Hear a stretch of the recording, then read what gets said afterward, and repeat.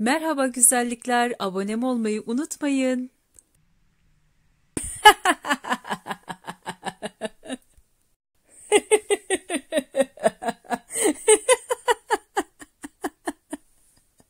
Joka'nın en son filmi biliyorsunuz Oscar aldı ve hoşuma gitti yani konusu. O yüzden onu yapmaya çalıştım. Evet, e, az sonra nasıl yaptığımı göstereceğim size. Tabii benim saçlarım aslında geriye doğru olması lazım ama ben kadın Joka oluyorum. Almanların geleneksel olarak her sene kutladıkları Fasching adında karneval kutluyorlar. Kadınlar, erkekler 7'den 70'e e, böyle değişik kostümlerle dışarıya çıkıyorlar. E, bazıları pijamayla çıkıyor. Bazıları istediği makyaj yapıyor. Bazıları böyle makyaj yapıyor. Hem Almanlara e, biraz ilham olsun diye hani bir dahaki Fasching'de ya Karneval'de e, Joka'nın makyajının nasıl yapıldığını göstermek istedim. Az sonra siz de göreceksiniz. Fasching nedir diye soracak olursanız yorumlara e, iletebilirsiniz. Size anlatabilirim bir dahaki sefere.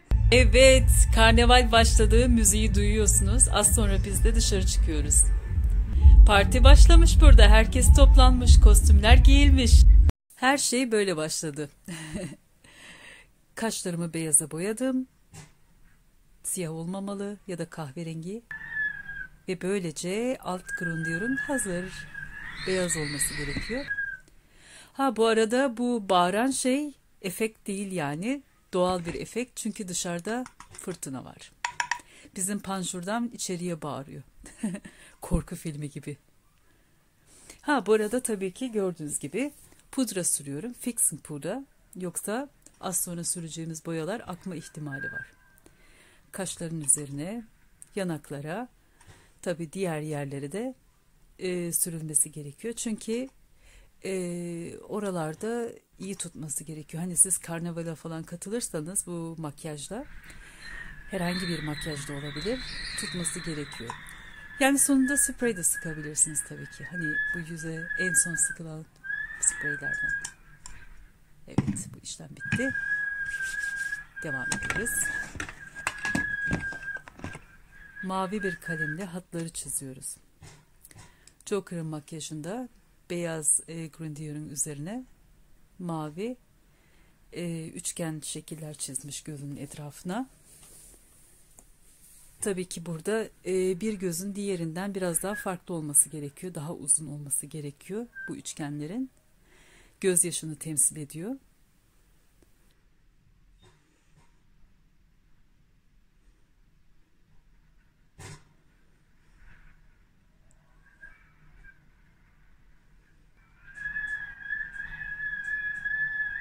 Bu fırtına aslında bu kadar e, sert esmiyor her zaman. Arada böyle ilkbahara yaklaşırken çok hızlı esen bir fırtına oluyor. Hasar vermiyor ama bizim panjurlardan böyle bağırıyor. Güzel bir efekt oldu benim için. Aslında başka şeyler için de kullanabilirim.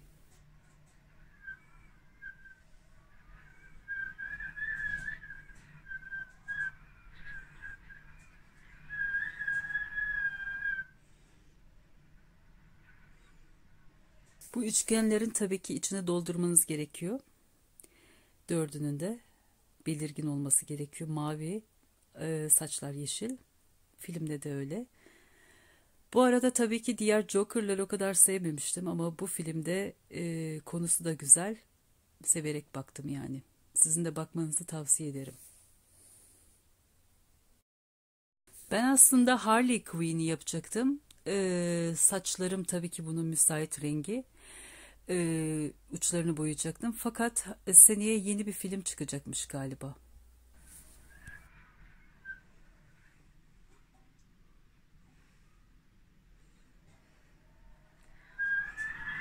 Of of git biraz başka yerde es. Sanki sadece burada esiyor. Hay yarıslarım nasıl? Beyaz kalemi göz içine e, çekiyoruz tabii ki. Benim gözlerim bu boyalardan biraz etkilendiği için kırmızı duruyor. Bu güzel rengi burun ve dudak kenarlarına çekeceğiz.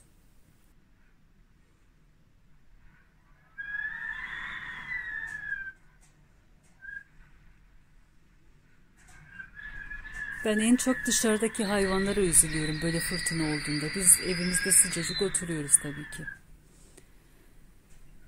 Evet, Joker'ın ağız kenarları e, tabii ki makyajında çok geniş bir gülümseme var.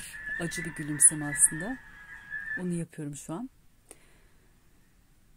Ve bunun içine kırmızı dolduracağız.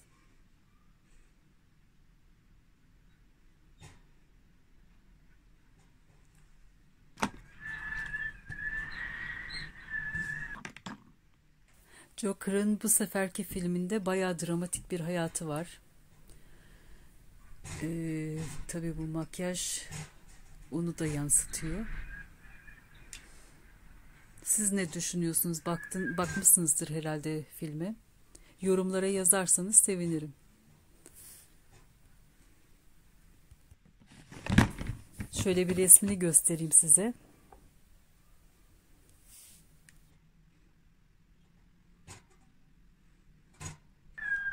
Film ne yazık ki tabii şiddet içeriyor. Ee, ne yazık ki dediğim yani dünyada bu böyle ne yazık ki. Ee, mobbing var tabii ki. Bunların hiçbirinin olmaması gerekiyor. Hiçbir kimseye ne hayvana ne insana bu çok yanlış bir şey. Bunu artık e, bırakmanız gerekiyor bence. Kendine yapılmasını istemediğin bir şey başkasına da yapma. Bu dünyayı daha da güzelleştirir. Evet, bu arada e, ağızdaki kontürleri doğru yapmak gerekiyor yoksa makyaj olması gerektiği gibi olmaz. Aynen bu şekilde. Bu şekilde de gülümsüyor. Burun üzerinde kırmızıya boyuyoruz çünkü Joker e, parasını bir palyanço olarak kazanıyor. Tabii ki palyançonun burnu da kırmızı oluyor. Önceden kocaman bir şey takıyorlardı. Bu modern palyanço. Tabii ki buradaki kontrolü de doğru yapmak gerekiyor. Ne kadar temiz çalışırsanız o kadar düzenli görünür.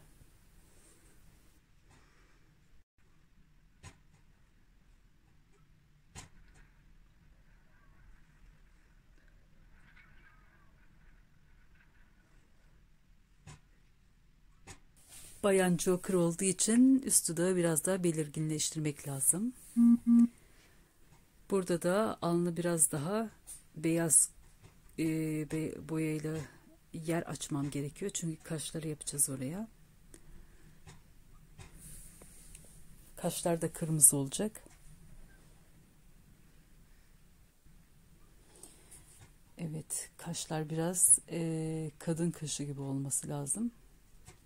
Joker biraz daha küçük e, yani küçük bir alana yapıyor.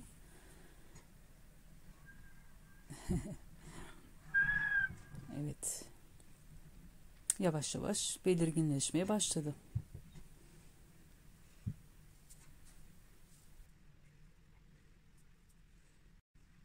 Tabi burada ağız kontürünü de belirginleştirmek lazım. Geniş bir gülümseme yaratmak için. Tabii ben Lady Joker olduğum için e, biraz daha belirgin bir dudak çizmem gerekiyor. Bordo renk aldım burada. Elimde fırça var. Ve dudak kontürünü biraz daha kontrastlı yapmam gerekiyor. Aslında ben boyutlu yapıyorum bu makyajları ama tabii ki bu palyanço makyajı olduğu için Joker da böyle yapıyor tabii e, böyle daha iyi. Şimdi bu göz damlasını biraz daha uzatmak lazım. Çünkü filmin ilerleyen sahnelerinde bu göz damlası ak, akmaya başlıyor. Aslında makyaj biraz daha ak, akmış şekilde görünüyor. Tabii ki ben filmi size anlatmayacağım. Bakmayanlar için. Evet. Böylece neredeyse bitmek üzereyiz. Bir şey daha var. E, filmdeki aktörün kaşları tabii ki daha koyu renk. E, onu da tabii kapatmışlar. Fakat göz mesafesiyle kaş mesafesi benimkisi gibi çok ayrık değil tabii ki ben kadın olduğum için e, öyle olmaması daha iyi. Onun bakışları, göz rengi tabii mavi. Ben aslında mavi lens de takacaktım ama buna gerek yok. Önemli olan burada makyajın nasıl yapıldığı. Şimdi e, bu mavi üçgenin altına e, biraz daha bakış e, bakışın ona benzemesi için böyle biraz gri renk sürdüm. Onu sonra yaydıracağım. Bu şekilde baktığımda biraz daha böyle keskin bakışlar olması gerekiyor.